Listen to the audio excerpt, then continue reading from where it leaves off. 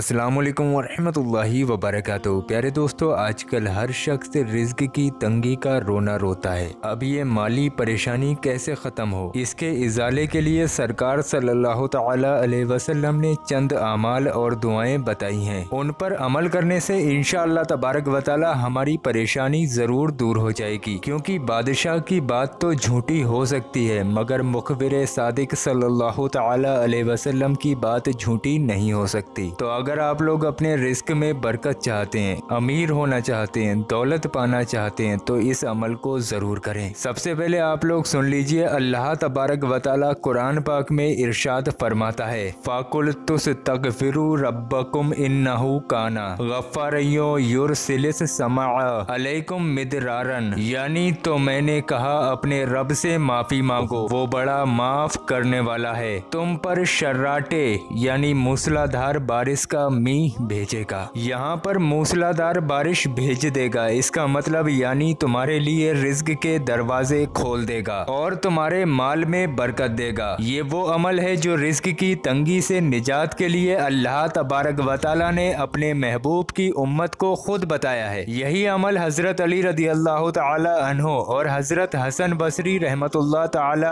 लोगों को बताते थे। उन हजरात के पास जो भी रिज्क की तंगी की शिकायत करता। ये हज़रत उनको इस्तफार की कसरत की ताकीद करते। तो प्यारे दोस्तों, ये जो वजीफ़ा हम आपको बताने वाले हैं, ये अल्लाह तबारक वाली ने हमारे प्यारे नबी हजूर वसल्लम की उम्मत, यानी कि हम लोगों को खुद बताया है। तो आपको सुबह को उठकर, जिस वक्त में भी आप लोगों की आँख खुले तो कम से कम सौ मरतबा अस्तकफिरुल्लाह अस्तकफिरुल्लाह अस्तकफिरुल्लाह इस तरीके से इस्तफार का विरद करें। और अगर हो सके तो अस्तकफिरुल्लाह रब्बी मिनकुल्ली ज़मीन वातुबो इलही। इसका पूरा विरद सौ मरतबा करें। उसके बाद आप लोग अपने काम, कारोबार के लिए निकलें। इन तबारक वाली इस तरीके की आदत बना के देखिए। यानी कि इस्तफार की आदत बना के देखिए। अल्लाह तबारक वाली के हुक्म से चंद दिनों में आप लोगों की ज़िंदगी बदल जाएगी। और अल्लाह तबारक वाली आप लोगों की तमाम परेशानियों को दूर फरमा देगा। अल्लाह तबारक वाली हमें और आपको इन तमाम बातों पर कहने, सुनने, पढ़ने से ज़्यादा अमल करने की तोफ़ीक अता फरमाए। आमीन, अल्लाहुम्मा आमीन। कमेंट बॉक्स में आमीन ज़रूर लिखिए, क्या मालूम किसकी ज़बान से निकला हुआ आमीन कब कबूल हो जाए। और प्यारे दोस्तों, इस वीडियो को चंद लोगों को, मैं ज़्यादा लोगों को तो नहीं कहूँगा, पर कुछ लोगों को शेयर ज़रूर कर देना। अगर आपकी वजह से एक बंदे ने भी एक मरतबा भी अस्तफार कर लिया तो आप लोग सोच भी नहीं सकते आपको कितना सबाब मिलेगा। बाकी की बात आप लोग समझ गए होंगे, इतने समझदार तो आप हैं तो इस वीडियो को शेयर ज़रूर करें। और आपको याद दिला दूँ, वीडियो को लाइक करना बिल्कुल ना भूलें। और प्यारे दोस्तों, हमने आप लोगों की स्क्रीन पे दो ऐसी वीडियो लगा दी हैं जो आप लोगों के बहुत काम आने वाली हैं। आप लोगों से गुजारिश है, इन वीडियो पे क्लिक करके इन वीडियोस को भी देखिए। सामने राउंड राउंड में जीएस वर्ल्ड लिख के आ रहा है उस पर क्लिक करके चैनल को ज़रूर सब्सक्राइब कीजिए।